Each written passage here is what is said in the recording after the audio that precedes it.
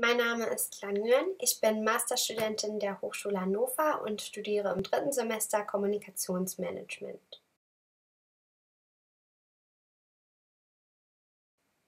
Die Digitalisierung hat das Kommunikations- und Mediennutzungsverhalten unserer Gesellschaft verändert und auch das Social Web in einen Markt digitalisierter Meinungen transformiert.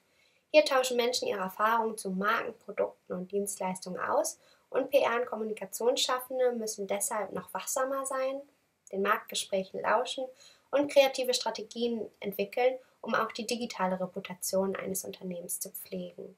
Denn Unternehmen, die sich gar nicht im Social Web engagieren, finden auch in den Köpfen der Menschen gar nicht statt. Und genau hier, in dem Beziehungsmanagement in digitalisierten Märkten, sehe ich die größte Herausforderung, aber zugleich auch die größte Chance für die Kommunikationsbranche.